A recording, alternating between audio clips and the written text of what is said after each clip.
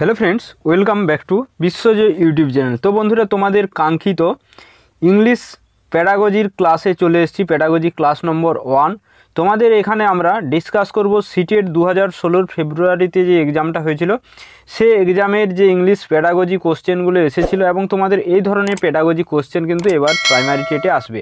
যেহেতু সিটেটের অনুযায়ী তোমাদের সিলেবাস রয়েছে এবং সেই প্যাটার্নে রয়েছে প্যাডাগজি থাকবে পনেরো নাম্বার পনেরো নাম্বার প্রোজ অ্যান্ড পোয়েট্রি থেকে থাকবে। তাই অবশ্যই গুরুত্বপূর্ণ আজকের ক্লাসটা আমি তোমাদের প্রত্যেকটা, আমি ওয়ার্ডের মানে বলে বলে তোমাদের ক্লাসটা করাবো যাতে তোমরা সমস্তটাই বুঝতে পারো খুবই সহজভাবে।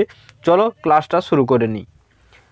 নেক্সট একটা জিনিস দেখে নাও যে আমাদের বিশ্বজয় ইউটিউব চ্যানেলে তোমাদের জন্য প্রোভাইড করা হয়েছে যে গুলো দেখে নাও যে ভিডিওগুলো সেটা হচ্ছে বাংলা পেডাগজি যেটা দু হাজার উনিশের সিটেটের ঠিক আছে? ডিসেম্বরে হয়েছিল। সেই সঙ্গে তোমাদের সিডিপি প্রশ্ন উত্তর দেওয়া হয়েছে সিটেট দু হাজার একুশের। সেই সঙ্গে তোমাদের দেখে নাও সিটেট দু হাজার উনিশের বাংলা পেডাগজি সমস্ত ক্লাস দেওয়া হয়েছে, ধাতু ক্রিয়াপদের ক্লাস দেওয়া হয়েছে, ঠিক আছে? তো এই ক্লাসগুলো অবশ্যই করবে math mathematics pedagogy mathematics pedagogy দেখে নাও, এই ধরনের ম্যাথামেটিক্স প্যাটাগজি ক্লাস তোমরা আরও পাবে। তো সিটেটে যে ধরনের কোশ্চেন আসে, সেই সমস্ত কোশ্চেনগুলো আমি কিন্তু তোমাদের প্রোভাইড করে রাখছি। যেহেতু আমার নতুন চ্যানেল তাই তোমাদের কি করতে হবে? ভিডিওগুলো বেশি করে শেয়ার করবে কিন্তু।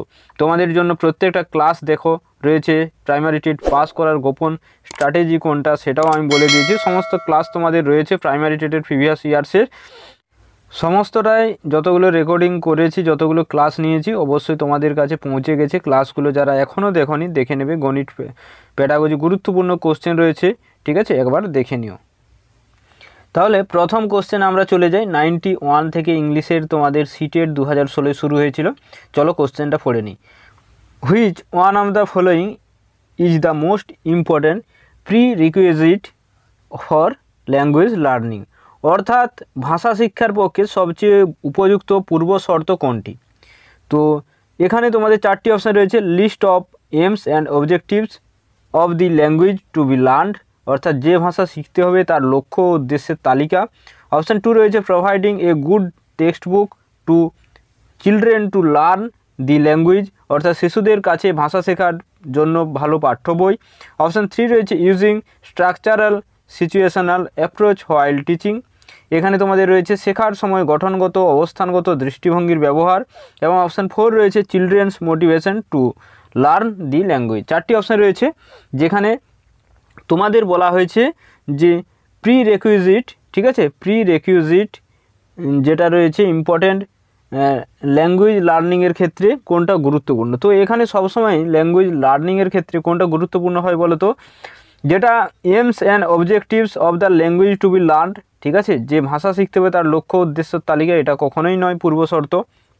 ঠিক আছে? গুড টেক্সট বুকও নয়। Structural situational approach with teaching ঠিক আছে? শেখার সময় গঠনগত, অবস্থানগত যে দৃষ্টিভঙ্গির ব্যবহার, সেটাও নয়।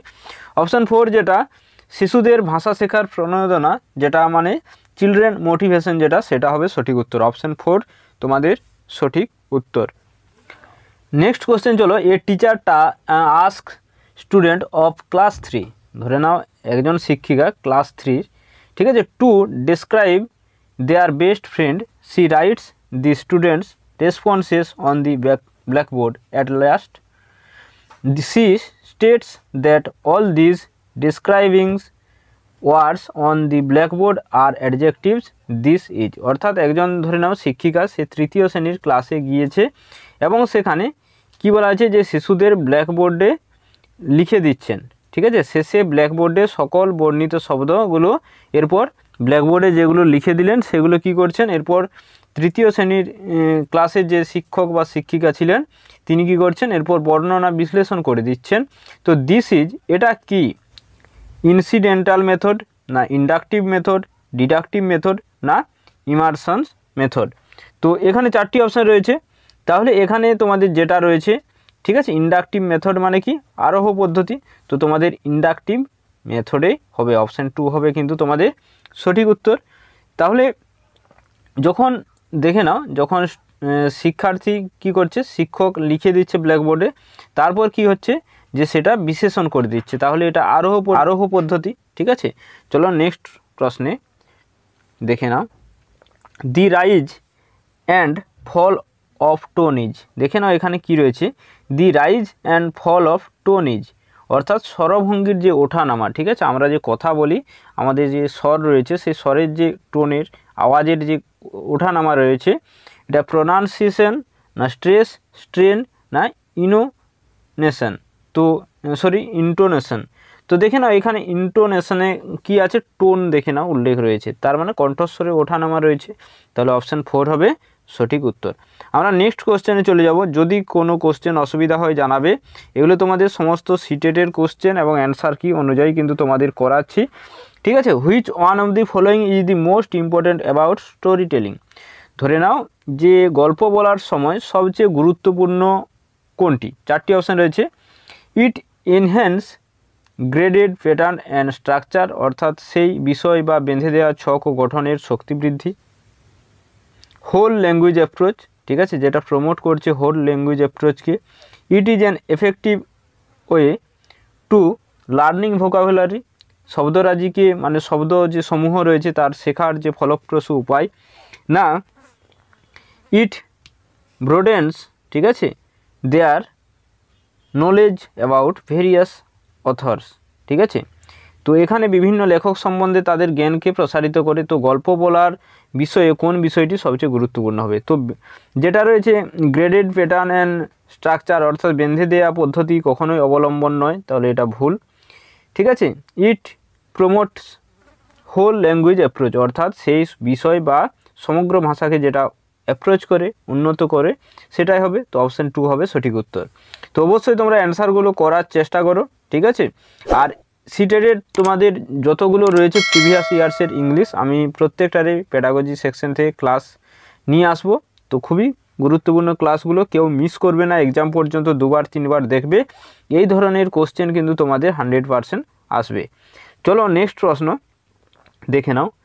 ডিকটেশন ঠিক আছে? Dictation does not help learners to অর্থাৎ শ্রুতি লিখন। ডিকটেশন মানে কি? শ্রুতি লিখন। শ্রুতি লিখন, অর্থাৎ শুনে লেখাটা। টিচার যখন বলে, আর স্টুডেন্টরা যখন লিখে, এই যে শুনে লেখাটা, বলছে নট হেল্প কোনটা লার্নারদের শিক্ষার্থীদের সাহায্য করে না। চারটি অপশান রয়েছে ইমপ্রুভ দেয়ার রিডিং স্কিল অর্থাৎ তাদের পঠন দক্ষতাকে উন্নত করতে ইমপ্রুভ দেয়ার স্পেলিং তাদের বানান জ্ঞানকে বাড়াতে, না ইনহেন্স দেয়ার লিসেনিং কম্প্রিহেনশন না তাদের বোধ পরীক্ষা শ্রবণ শক্তিকে বাড়াতে, না ইনক্রিজ দেয়ার কনসেন্ট্রেশন অর্থাৎ তাদের মনোসংযোগ বাড়াতে। তাহলে যে শ্রুতি, লিখন শিক্ষার্থীদের সাহায্য করে না নট হেল্প কি লেখা আছে? নট এটা লক্ষ্য রাখবে। তো এখানে কি অ্যান্সার হবে তোমাদের? কোনটা সাহায্য করে না? বলো তো শ্রুতি, লিখন যেটা রিডিং স্কিল পঠন দক্ষতা উন্নত করে। ঠিক আছে? সমস্ত কোশ্চেনগুলোই তোমাদের সিটেটের অ্যান্সার কি অনুযায়ী আমি করাচ্ছি। কোনো প্রবলেম নেই, কোনো অ্যান্সারে অবশ্যই প্রত্যেকটা অ্যান্সার সঠিক। থ্যাংক ইউ সো মাচ চলো নেক্সট প্রশ্নে। দেখে নাও নাইনটি সিক্সের প্রশ্ন, যে an English teacher after completing a chapter from the textbooks ask questions based on the text to অর্থাৎ, একজন ইংরেজি শিক্ষক বা শিক্ষিকা যে পাঠ্যপুস্তকের একটি অধ্যায় পড়ানো শেষ করার পরে পাঠ্য বিষয়ভিত্তিক প্রশ্ন জিজ্ঞাসা করেন, ঠিক আছে? যে এই language teacher after completing a chapter অর্থাৎ একটা চ্যাপ্টার শেষ করার পর test textbook ask questions based on the text অর্থাৎ যে পাঠ্য বিষয়টা পড়ানো হলো তার উপর কোশ্চেন করবে। তো এখানে চারটি অপশান রয়েছে, কোনটা সঠিক? Keep students busy as the chapter is complete অর্থাৎ অধ্যায়টি পড়ানো শেষ হওয়ার সঙ্গে সঙ্গে শিক্ষার্থীদের পাঠে ব্যস্ত রাখতে চাইছেন। অপশান টু রয়েছে অ্যাট্রাক্ট স্টুডেন্ট অ্যাটেনশন না শিক্ষার্থীদের মনোযোগ আকর্ষণ করতে চাইছেন। নো দেয়ার কম্প্রিহেনশন হতো, এটা কি হতো? নো দেয়ার কম্প্রিহেনশন হতো, এখানে টাইপ মিস্টেক হয়ে গেছে। সরি তো অর্থাৎ তাদের বোধ বোধ শক্তিকে জানাতে না মেনটেন ক্লাস ডিসিপ্লিন না শ্রেণীকক্ষের যে শৃঙ্খলা বজায় রাখতে। তাহলে দেখে নাও যে একজন ইংলিশ টিচার যখন কমপ্লিট করবে তার চ্যাপ্টারটা তখন সেই টেক্সট বুক থেকে কি ধরনের কোশ্চেন করবে, তো এখানে চারটি অপশানের মধ্যে যে তাদের বোধ শক্তিকে জানাতে, ঠিক আছে? নো দেয়ার কম্প্রিহেনশন যেটা অপশান থ্রি সেটা হবে সঠিক উত্তর। তো তোমাদের ক্লাসগুলো কেমন লাগছে অবশ্যই কিন্তু কমেন্ট বক্সে কমেন্ট করবে, ঠিক আছে? নেক্সট প্রশ্নের দিকে আমরা যাব, দেখে নাও নেক্সট প্রশ্ন। Shreya a teacher of class four Shreya নামের ধরে নাও, তুমি এখানে ধরে নাও নিজেকে শ্রেয়া, এই কোশ্চেনের জন্য তুমি নিজেকে শ্রেয়া ধরে নাও। তুমি ধরে নাও ক্লাস ফোরের একজন English teacher asked the learners to complete the dialogue in the given boxes and and then to role play and same using their dialogues she is developing অর্থাৎ চতুর্থ শ্রেণির একজন শিক্ষিকা শ্রেয়া শিক্ষার্থীদের একটা সংলাপ সম্পূর্ণ করতে বললেন এবং সেই সংলাপ নিয়ে আলোচনা করতে বললেন। অর্থাৎ একটা রোল প্লে করতে বলছেন। ঠিক আছে? সেই ডায়লগ অনুযায়ী। তো এক্ষেত্রে তিনি তাদের কোনটি উন্নত করতে চাইছেন? সি ইজ ডেভেলপিং মানে কোনটা উন্নত করতে চাইছেন একজন শিক্ষিকা। All listening writing reading and speaking skill অর্থাৎ সব কিছু শ্রবণ, লিখন, পঠন এবং বাচন দক্ষতাকে। না লিসেনিং অ্যান্ড স্পিকিং স্কিল অর্থাৎ শ্রবণ ও বাচন দক্ষতাকে। রিডিং অ্যান্ড রাইটিং স্কিল অর্থাৎ পঠন ও লিখন দক্ষতাকে। স্পিকিং অ্যান্ড রাইটিং স্কিল যেখানে বলা এবং লেখা পদ্ধতিকে। তাহলে ধরে নাও, শ্রেয়া নামের একজন ইংলিশ টিচার ক্লাস ফোরে গিয়েছেন এবং তিনি একটা কি করতে বলছেন? একটা রোল প্লে করতে বলছেন, ঠিক আছে? অভিনয়ের জন্য। তো কিছু সেখানে ডায়লগ দেয়া আছে, ঠিক আছে? কিছু ডায়লগ দেয়া আছে। এক্ষেত্রে তিনি কোনটা উন্নত করতে চাইছেন, এটা কিন্তু হবে all listening writing reading and speaking skill ঠিক আছে? অপশান ওয়ান হবে সঠিক উত্তর। তোমাদের ক্লাস কেমন লাগছে অবশ্যই কমেন্ট বক্সে জানাবে। এই ধরনের ক্লাসের জন্য কিন্তু প্রত্যেকে কমেন্ট করবে, ঠিক আছে? এই ধরনের ক্লাস তোমরা পেতেই থাকবে। ইংলিশ পেডাগজির এই ধরনের কোশ্চেনেই তোমাদের কিন্তু সিটেটে যেমন এসেছিল, তোমাদের প্রাইমারি টেটের কিন্তু হুবহু সিলেবাস যেহেতু এক, তাই তোমাদের এই কোশ্চেনে আসবে। নাইনটি এইট কোশ্চেন দেখে নাও which one of the following can not be used in formative assessment অর্থাৎ কি বলা হচ্ছে যে, গঠনমূলক মূল্যায়নের ক্ষেত্রে ক্যান নট বি ইউজড মানে কোনটা ব্যবহার করা হয় না। সবসময় দেখবে কোশ্চেনে কি থাকবে? ক্যান নট বা নট থাকবে। তখনই তোমাদের কিন্তু কোশ্চেনটা ভালোভাবে দেখতে হবে যে কোন তিনটি অপশান এখানে এক রয়েছে। আর কোন অপশানটা আলাদা রয়েছে, যেটা আলাদা রয়েছে সেটি তোমাদের অ্যান্সার হবে। দেখে না অলিম্পিয়াড মানে কি? এক ধরনের অলিম্পিক খেলা, ঠিক আছে? এক ধরনের খেলা অলিম্পিক খেলা, জানো সকলে? রিটেলিং স্টোরিজ মানে গল্প বলা, পুনরায় গল্প বলা রোল প্লে ধরে নাও নাটকে যে রোল প্লে করা হয় অভিনয়ের জন্য, সেই রোল প্লে না ডিবেট মানে বিতর্ক, যেগুলো দেখবে এবিপি আনন্দে হতে থাকে, ঠিক আছে? সঙ্গে সুমন, ঠিক আছে? তো এইগুলো ডিবেট যে যেখানে যুক্তিতর্ক হতে থাকে, এগুলো আমাদের ক্লাসরুমও দেখা যায়। তো এখানে ফর্মেটিভ অ্যাসেসমেন্টের ক্ষেত্রে ফর্মেটিভ অ্যাসেসমেন্টের ক্ষেত্রে এই চারটি অপশানের মধ্যে তোমাদের দেখে নাও একই কোনটা আছে। একই আছে retelling stories role play debate তো এখানে তোমাদের অলিম্পিয়াড, যেটা তোমাদের খেলাধুলার সঙ্গে সম্পর্কিত, তাহলে এটা ভুল আছে। মানে এটা ফর্মেটিভ অ্যাসেসমেন্টের গঠনমূলক মূল্যায়নে ব্যবহার করা হয় না। তাহলে অপশান ওয়ান হবে সঠিক উত্তর এইখানে চলো নেক্সট প্রশ্ন, কার কেমন ক্লাস লাগছে মাই ডিয়ার স্টুডেন্ট অবশ্যই জানাবে, ঠিক আছে? নেক্সট কোয়েশ্চেন দেখে নাও। টিচিং লার্নিং ম্যাটেরিয়াল অর্থাৎ টিএলএম অর্থাৎ তুমি যে একজন শিক্ষক বা শিক্ষিকা, তুমি যে ম্যাটেরিয়ালসটা ব্যবহার করছ স্টুডেন্টদের বোঝানোর জন্য, সেটা should be used by teachers R teachers as it তো এখানে যে শিক্ষক, শিক্ষিকাদের ব্যবহার করা উচিত, কারণ কেন? টিচিং লার্নিং যে ম্যাটেরিয়াল আছে, সেটা ব্যবহার করা উচিত। তার কারণ কি? Motivates learner to further prepare such material at home অর্থাৎ শিক্ষার্থীদের বাড়িতে এমন উপাদান বানাতে প্রণোদিত করে। না সাপ্লিমেন্টস টিচিং লার্নিং প্রসেস না এটা শিক্ষাদান, শিক্ষণ প্রক্রিয়া সম্পূরক হয়। অপশান থ্রি রয়েছে prepare students mentally to sit in the class যেখানে এটি শিক্ষার্থীদের শ্রেণীতে বসতে মানসিকভাবে প্রস্তুত করে। অপশান ফোর রয়েছে ইজ নট ভেরি এক্সেন এক্সপেন্সিভ তো এটা খুব খরচ সাপেক্ষ হয়। তাহলে চারটি অপশান রয়েছে। তো টিচিং লার্নিং যে ম্যাটেরিয়াল সেটা যে শিক্ষকরা ব্যবহার করেন টিচাররা ইউজ করেন, তো এক্ষেত্রে যেটা হবে তোমাদের, দেখে নাও, শিক্ষার্থীদের বাড়িতে এমন উপাদান বানাতে প্রণোদিত করে, যেটা motivate motivates learner to further prepare search material at home এটা নয়। সাপ্লিমেন্টস, টিচিং, লার্নিং প্রসেস, অর্থাৎ এটা শিক্ষাদান এবং শিক্ষণ প্রক্রিয়ার সম্পূরক হয়।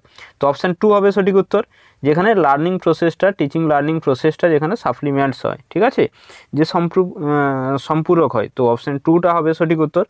অপশান থ্রিতে যেটা রয়েছে, শিক্ষার্থীদের শ্রেণীতে বসতে মানসিকভাবে প্রস্তুত করে এটা কখনোই নয়, ঠিক আছে? যেটা prepare student mentally to sit in the class এটা কখনোই নয়।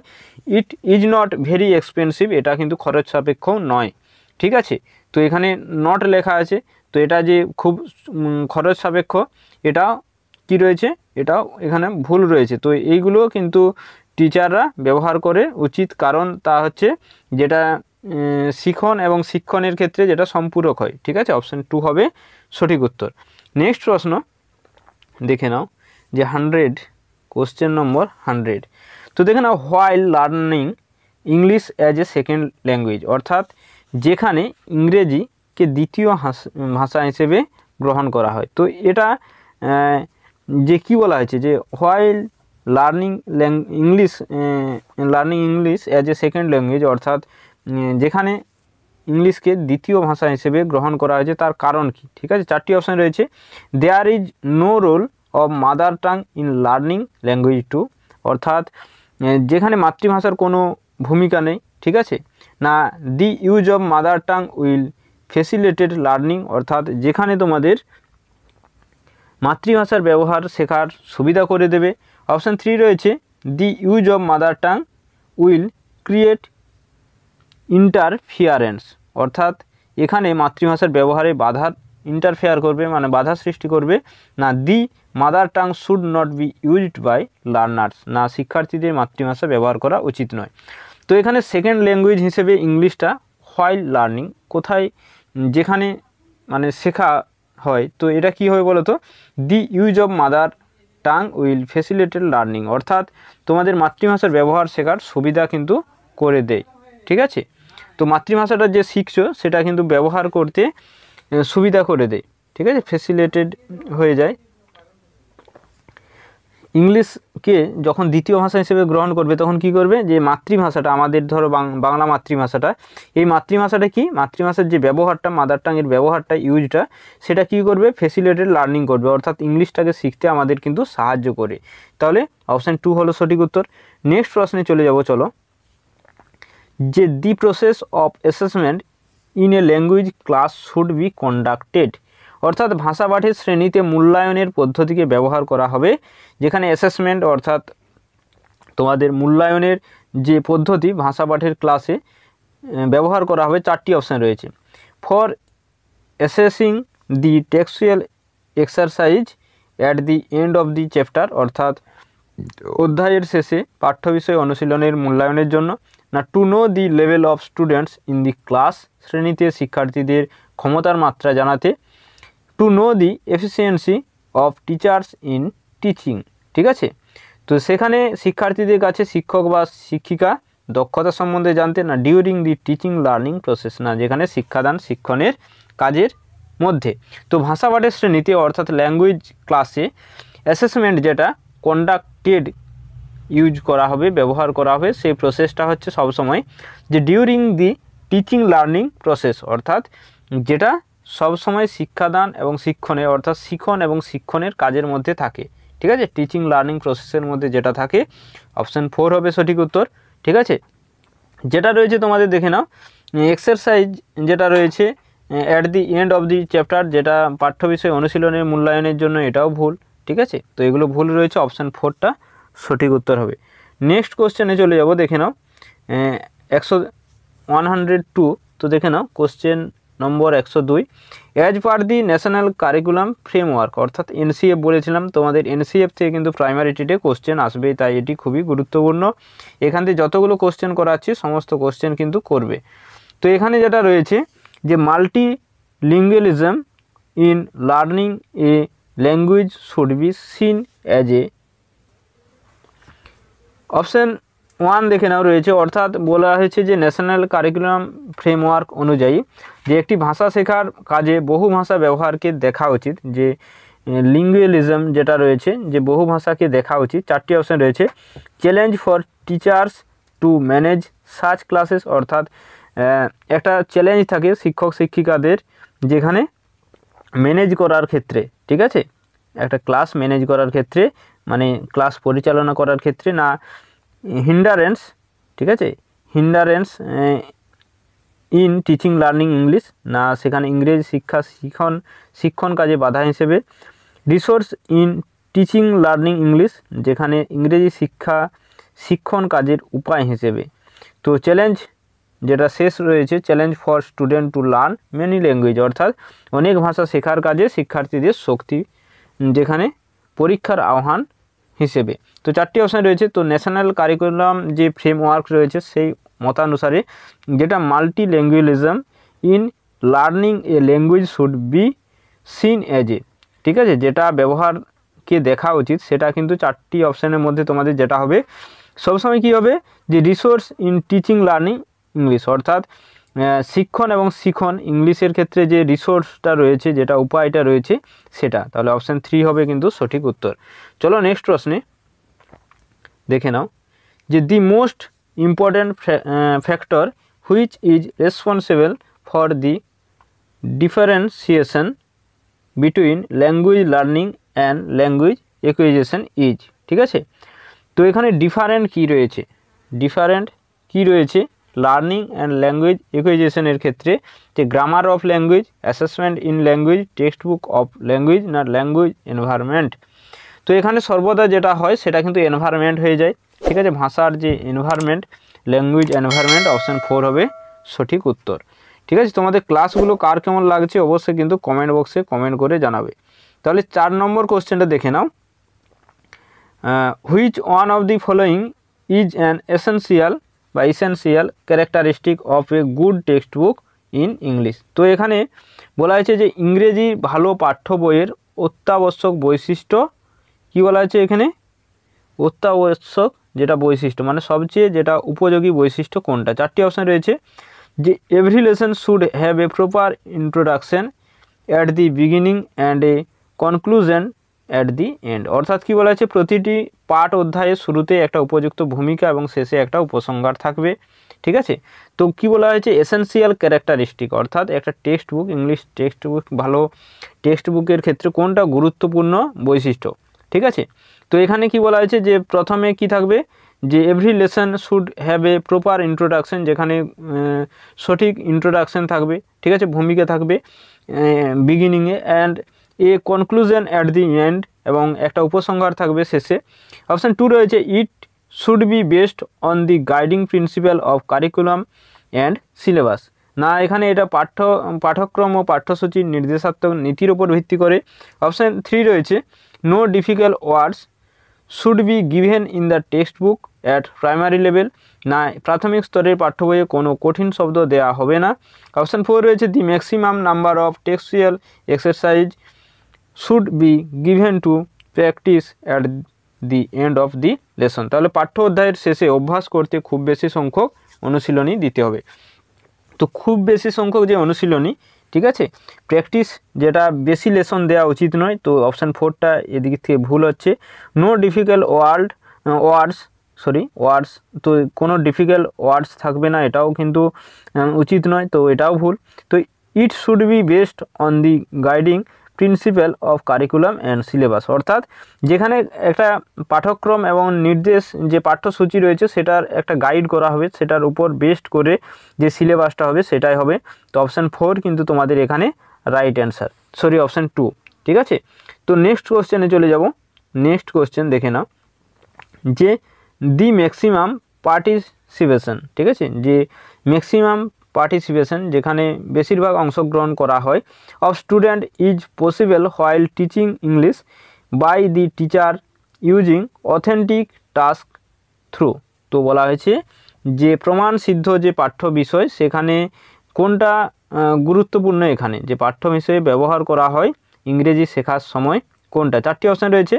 যে কমিউনিকেটিভ অ্যাপ্রোচ অর্থাৎ শিক্ষক শিক্ষিকার মধ্যে যে মনো, মনোভাবের যে আদান প্রদান, ঠিক আছে? কমিউনিকেট করা, না গ্রামার ট্রান্সলেশন মেথড না ব্যাকরণের ভাষা অনুবাদ পদ্ধতির মাধ্যমে, না ডাইরেক্ট মেথড সরাসরি পদ্ধতির মাধ্যমে, না গঠনগত বিষয়ের মধ্যে মানে স্ট্রাকচারাল অ্যাপ্রোচ চারটি অপশান রয়েছে। তো ম্যাক্সিমাম পার্টিসিপেশন অফ স্টুডেন্ট যেখানে বেশিরভাগ স্টুডেন্টরা অংশগ্রহণ করে, ঠিক আছে? অংশগ্রহণ করতে পারে while teaching English by the teacher using authentic task through তো এটা তোমাদের হবে কিসের মধ্য দিয়ে? এটা সবসময় হবে কমিউনিকেটিভ অ্যাপ্রোচ তাহলে অপশান ওয়ান হলো তোমাদের সঠিক উত্তর। তাহলে এই ছিল তোমাদের কোশ্চেন এই সঙ্গে তোমাদের দেখে নাও, এখানে অ্যান্সার কিও দেওয়া আছে। এই পিডিএফগুলো তোমাদের একটা একটা করে ধীরে ধীরে তোমাদের জন্য দেওয়া হবে টেলিগ্রাম গ্রুপে অবশ্যই কানেক্ট থাকো আমাদের টেলিগ্রাম গ্রুপে যারা এখনও যুক্ত হয়নি হওনি, অবশ্যই যুক্ত হও, ঠিক আছে? সেখানে পিডিএফ পেয়ে যাবে। আর কেমন ক্লাসগুলো লাগল জানাও এবং আগামীতে এই ধরনের পেডাগজি ক্লাস কিন্তু তোমাদের জন্য যদি তোমরা চাও তাহলে নিয়ে আসব। তাছাড়া কিন্তু অন্যান্য যেহেতু পেডাগজির ক্লাস আমাদের চলছে, সেদিকে আমরা চলে যাব। তো তোমরা অবশ্যই প্রত্যেকে কমেন্ট করবে, ভিডিওটি অবশ্যই শেয়ার করবে। কার কতগুলো সঠিক হলো জানাবে। তোমাদের সিটেটের যে দু হাজার ষোলোর ফেব্রুয়ারিতে যে কোশ্চেন হয়েছিল, সেই কোশ্চেনগুলো আমি সমস্ত আলোচনা করে দিলাম পেডাগজির থেকে। এবং তোমাদের প্রত্যেক দিন এই ধরনের ক্লাস হতে থাকে, তো অবশ্যই আমাদের চ্যানেলের সঙ্গে যুক্ত থাকো এবং আমাদের চ্যানেলে নতুন বন্ধু হলে অতি অবশ্যই সাবস্ক্রাইব করো। এবং তোমাদের কার কোন সাবজেক্টে অসুবিধা সেটাও কমেন্ট বক্সে জানাবে। তোমাদের কীভাবে হেল্প করা যায় তার জন্য কিন্তু কোনো না কোনো উপায় আমরা জানিয়ে দেবো। Thank you so much for watching connected with us ঠিক আছে?